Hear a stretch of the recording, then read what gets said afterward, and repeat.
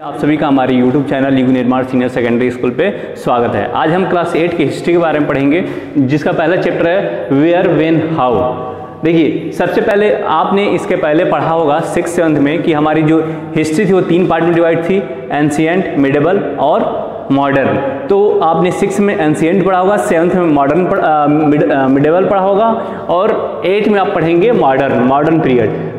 After seventeen century modern period जो हमारा start होता है, वो सत्रहवीं शताब्दी के बाद से स्टार्ट होता है। जैसे कि the period of history from eighteen century to present time वह इतिहास का वह काल जो 18वीं शताब्दी से शुरू होकर प्रजेंट में, यानी वर्तमान में चल रहा है हमारा क्या कहलाएगा? मॉडर्न हिस्ट्री कहलाएगा।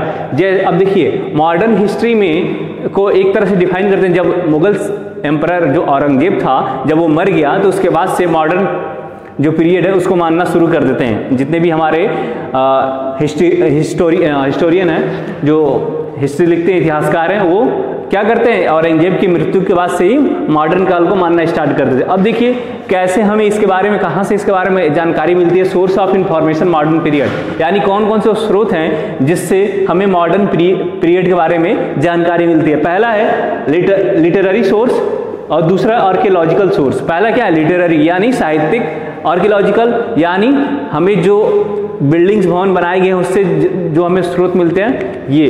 पहले हम पढ़ेंगे लिटरेरी सोर्स में, पहला है बुक्स बुक्स उस टाइम एटीन सेंचुरी में बहुत सारे अच्छे राइटर्स थे, जिन्होंने लिखा, जैसे कि मुंशी प्रेमचंद हैं, आपके रविन्द्रनाथ टैगोर हैं। ये लोग क्या किए? उस टाइम के सबसे फ़ेमस राइटर थे, इन्होंने अपनी बुक्स में बहुत सारी जानकारी लिखा है, किसके मॉडर्न पीरियड के टाइम में। तो हमें उनके बुक्स से भी जानकारी मिलती है। न्यूज़पेपर देखिए, बंगाल गजट नाम का एक न्यूज़पेपर चलता था एटीन सेंचुरी का सबसे फ़ेमस और सबसे पुराना जो न्यूज़पेपर था बंगाल गजट। तो उस समय, उस टाइम के बारे में पता चलता है laws and government documents laws और डॉक्यूमेंट उस समय हमारे, देखिए, अठारहवीं शताब्दी के टाइम हमारे ऊपर जो राजा बने जो हमारे ऊपर शासन कर रहे थे रूलर थे, वो कौन थे? और अंग्रेज़ थे, यानी ब्रिटिश थे। तो उन्होंने क्या किया? यहाँ पे बहुत सारे नियम लगाए, बहुत सारे कानून बनाए लॉज गवर्नमेंट डॉक्यूमेंट और उन्होंने कानूनी कागजात बनाए। जैसे कि ज़मीन के कागजात, किसी के जमानती कागजात, बहुत सारे ऐसे कागजात हैं जो लीगल डॉक्यूमेंट वो बनाए।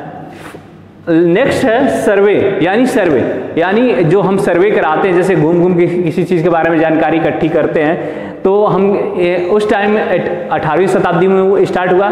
जैसे कि सेंसस यानी जन जनसंख्या जनगणना की, जो सबसे पहले शुरुआत हुई थी वो 1871 अठारह सौ इकहत्तर इकहत्तरवीं सन में स्टार्ट हुआ था। इस टाइम जो उस समय के जो ब्रिटिश रूलर थे, उन्होंने भारत की जनसंख्या एग्जैक्ट कितनी है टोटल कितनी है, उसको उन्होंने सर्वे कराया। तो इससे हमें उस टाइम के बारे में जानकारी मिलती है। आर्कियोलॉजिकल सोर्स में बिल्डिंग्स है, जो उस समय बिल्डिंग्स बनी, उसके बारे में जैसे कि हमारा लाल किला सॉरी लाल किला सॉरी जैसे जो बिल्डिंग्स बनी थी, जैसे आपका पहला राष्ट्रपति भवन हो गया, दूसरा इंडिया गेट हो गया गेट वे ऑफ़ इंडिया ये किसने बनवाया था? ये जो बनवाया था, ये हमारे जो अंग्रेज़ थे, उन्होंने इस समय बनाया क्वाइंस और स्टॉम्प्स फोटोग्राफ्स और पेंटिंग्स देखिए क्वाइंस उस समय जो सिक्के चलने लगे हमारे, किसके चलने लगे? क्वाइंस जो थे हमारे स्टील के चलने लगे, सोने चांदी की चलती थी। तो बहुत सारे उस टाइम कॉपर का भी चलने लगा। पेंटिंग्स जो पेंट जो पेंटिंग बनाई गई थी अदर उस समय के जो महान चित्रकार थे उनके द्वारा। और स्टाम्प जो उन्होंने स्टाम्प बनवाया, सरकारी एक स्टाम्प होता है जिससे किसी को एक मान्यता मिलती है कहीं कहीं भी जाने के लिए, उस पत्र को ले जाने के लिए। तो ये सब, इस चीज़ से हमें, उस समय के रूलर के बारे में जानकारी मिलती है, उनका शासनकाल कैसा था, शासन व्यवस्था कैसी थी, इसके बारे में जानकारी मिलती है। तो आज के फ़र्स्ट चैप्टर में आपका बस इतना ही है। और अगर इसमें आपको कोई भी प्रॉब्लम होती है तो आप हमें नीचे दिए गए कमेंट बॉक्स में कमेंट करें और व्हाट्सएप ग्रुप में भी आप मैसेज कर सकते हैं। आपके सवालों का पूर्ण समाधान किया जाएगा। Thank you.